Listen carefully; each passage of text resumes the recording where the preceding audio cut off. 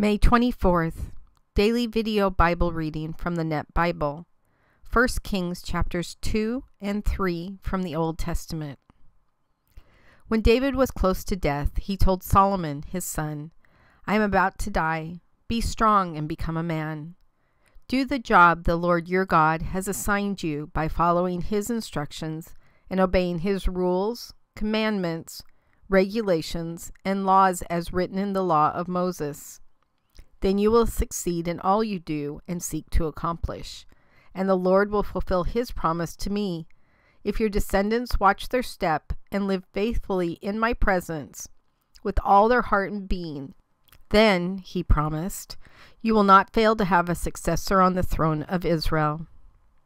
You know what Joab, son of Zeruiah, did to me, how he murdered two commanders of the Israelite armies, Abner, son of Ner, and Amasa, son of Jether.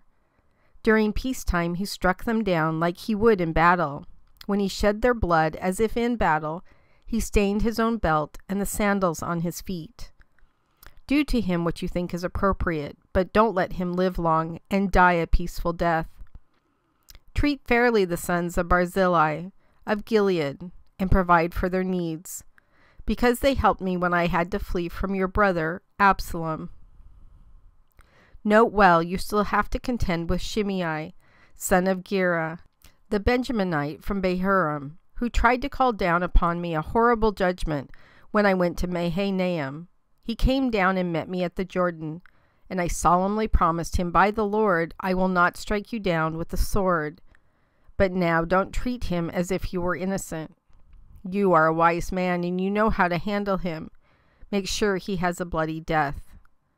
Then David passed away and was buried in the city of David. David reigned over Israel forty years. He reigned in Hebron seven years, and in Jerusalem thirty three years. Solomon sat on his father David's throne, and his royal authority was firmly solidified. Haggith's son Adonijah visited Bathsheba, Solomon's mother. She asked, Do you come in peace? He answered, Yes. He added, I have something to say to you. She replied, Speak. He said, You know that the kingdom was mine, and all Israel considered me king.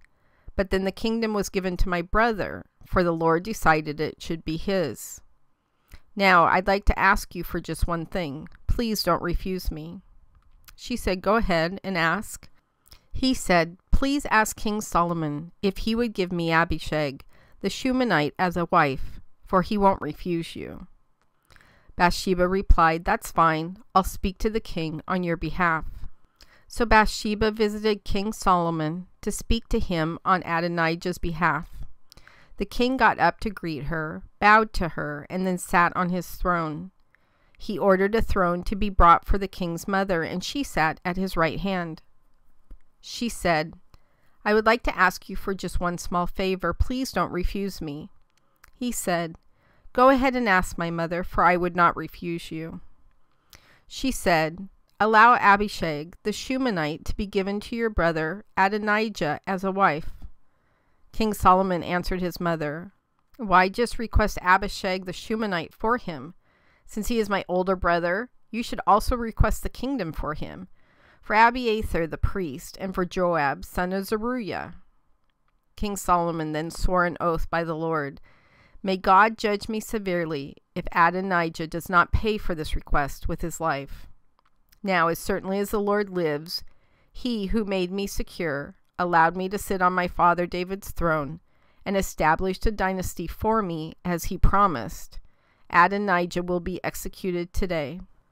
King Solomon then sent Benaiah, son of Jehoiada, and he killed Adonijah. The king then told Abiathar the priest, Go back to your property in Anathoth.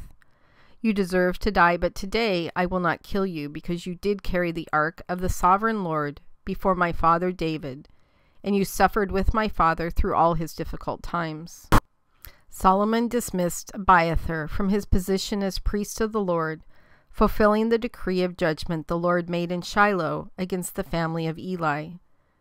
When the news reached Joab, for Joab had supported Adonijah, Although he had not supported Absalom, he ran to the tent of the Lord and grabbed hold of the horns of the altar. When King Solomon heard that Joab had run to the tent of the Lord and was right there beside the altar, he ordered Benaiah, son of Jehoiada, go strike him down. When Benaiah arrived at the tent of the Lord, he said to him, The king says, Come out. But he replied, No, I will die here. So Benaiah sent word to the king and reported Joab's reply. The king told him, Do as he said, strike him down and bury him. Take away from me and from my father's family the guilt of Joab's murderous, bloody deeds. May the Lord punish him for the blood he shed behind my father David's back. He struck down and murdered with the sword two men who were more innocent and morally upright than he Abner, son of Ner, commander of Israel's army, and Amasa, son of Jether, commander of Judah's army. May Joab and his descendants be perpetually guilty of their shed blood, but may the Lord give perpetual peace to David, his descendants, his family, and his dynasty. So Benaiah, son of Jehoiada, went up and executed Joab. He was buried at his home in the wilderness. The king appointed Benaiah, son of Jehoiada, to take his place at the head of the army, and the king appointed Zadok, the priest, to take Abiathar's place. Next, the king summoned Shimei and told him, Build yourself a house in Jerusalem and live there, but you may not leave there to go anywhere. If you ever do leave and cross the Kidron Valley, know for sure that you will certainly die. You will be responsible for your own death. Shimei said to the king, My master, the king's proposal is acceptable. Your servant will do as you say. So Shimei lived in Jerusalem for a long time. Three years later, two of Shimei's servants ran away to King Achish, son of Maacah of Gath. Shimei was told, Look, your servants are in Gath. So Shimei got up, saddled his donkey, and went to Achish at Gath to find his servants. Shimei went and brought back his servants from Gath. When Solomon was told that Shimei had gone from Jerusalem to Gath and had then returned, the king summoned Shimei and said to him, You will recall that I made you take an oath by the Lord, and I solemnly warned you, if you ever leave and go anywhere, know for sure that you will certainly die. You said to me, The proposal is acceptable. I agree to it. Why then have you broken the oath you made before the Lord and disobeyed the order I gave you? Then the king said to Shimei, You are well aware of the way you mistreated my father David. The Lord will punish you for what you did. But King Solomon will be empowered, and David's dynasty will endure permanently before the Lord. The king then gave the order to Benaiah, son of Jehoiada, who went and executed Shimei. So Solomon took firm control of the kingdom. Solomon made an alliance by marriage with Pharaoh, king of Egypt. He married Pharaoh's daughter. He brought her to the city of David until he could finish building his residence and the temple of the Lord and the wall around Jerusalem. Now the people were offering sacrifices at the high places, because in those days a temple had not yet been built to honor the Lord. Solomon demonstrated his loyalty to the Lord by following the practices of his father, David, except that he offered sacrifices and burnt incense on the high places. The king went to Gibeon to offer sacrifices, for it had the most prominent of the high places. Solomon would offer up a thousand burnt sacrifices on the altar there. One night in Gibeon, the Lord appeared to Solomon in a dream. God said, Tell me what I should give you. Solomon replied, You demonstrated great loyalty to your servant, my father David, as he served you faithfully, properly, and sincerely. You have maintained this great loyalty to this day by allowing his son to sit on his throne. Now, O Lord my God, you have made your servant king in my father David's place, even though I am only a young man and am inexperienced. Your servant stands among your chosen people. They are a great nation that is too numerous to count or number. So give your servant a discerning mind, so he can make judicial decisions for your people and distinguish right from wrong. Otherwise, no one is able to make a judicial decision for this great nation of yours. The Lord was pleased that Solomon made this request. God said to him, Because you asked for the ability to make wise judicial decisions, and not for long life or riches or vengeance on your enemies, I grant your request, and give you a wise and discerning mind superior to that of anyone who has preceded or will succeed you. Furthermore, I am giving you what you did not request riches and honor, so that you will be the greatest king of your generation. If you follow my instructions by obeying my rules and regulations, just as your father David did, then I will grant you long life. Solomon then woke up and realized it was a dream. He went to Jerusalem, stood before the ark of the Lord's covenant, offered up burnt sacrifices, presented peace offerings, and held a feast for all his servants. Then two prostitutes came to the king and stood before him. One of the women said, My master, this woman and I live in the same house. I had a baby while she was with me in the house. Then, three days after I had my baby, this woman also had a baby. We were alone. There was no one else in the house except the two of us. This woman's child suffocated during the night when she rolled on top of him. She got up in the middle of the night and took my son from my side while your servant was sleeping. She put him in her arms and put her dead son in my arms. I got up in the morning to nurse my son, and there he was dead. But when I examined him carefully in the morning, I realized it was not my baby. The other woman said, No, my son is alive. Your son is dead. But the first woman replied, No, your son is dead. My son is alive. Each presented her case before the king. The king said, One says, My son is alive, your son is dead, while the other says, No, your son is dead, my son is alive. The king ordered, Get me a sword. So they placed a sword before the king.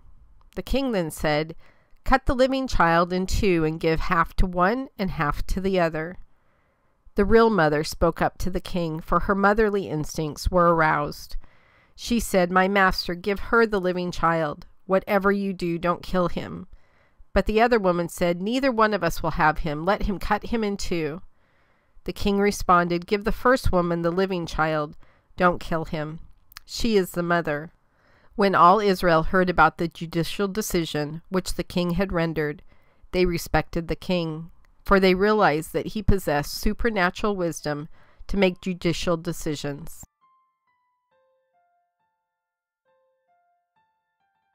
God, the stories of Solomon are very well known, even to people who don't read the Bible. This particular story is very well known uh, to people.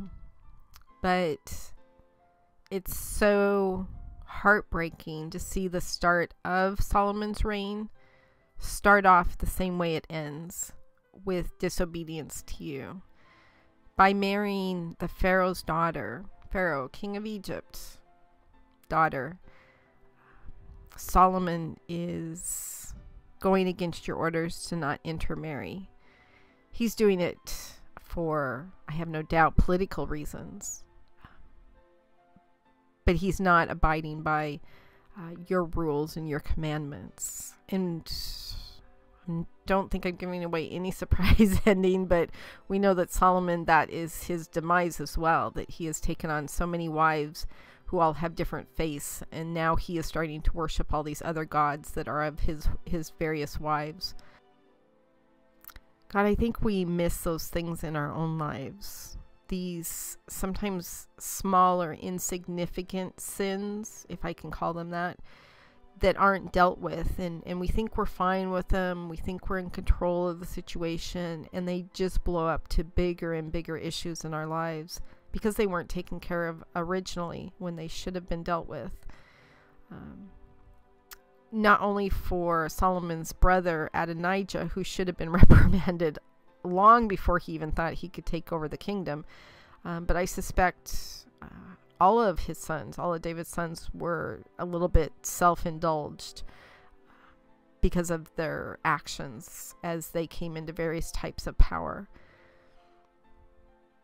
our own actions need to be dealt with. We need to look at ourselves in full, complete light and understand the pieces that shouldn't be there and not have these hidden eyes or or filters that weed out and look look over or gloss over these things in in our world um, that may seem small or insignificant or we've got this figured out we can stop any time type of situations and we just really can't and they start spiraling out of control this truly is this marriage is truly the end at Solomon's beginning. So, God, today I just ask that you allow us to be reflective, to just really examine our lives and find those areas that are the dead parts of the tree and allow you to trim those. Um, to take off anything that isn't growing, that if isn't healthy, um, that isn't going to produce good fruit, and just trim those away for us. Um, and I do know that that part's painful. We've had this conversation many times. But it is so well worth it that once you get all that dead weight off and once you readjust your sinful lives and, and we start following you and, and the path you have set for us and are obedient to you, um, including all of your commands, it is the only way that you can make us flourish even more in glorification of who you are. God, prune away. We're ready for it we understand that there's things about us that we may not even see. But I know if we ask you, you will show us. In your son's name I pray. Amen.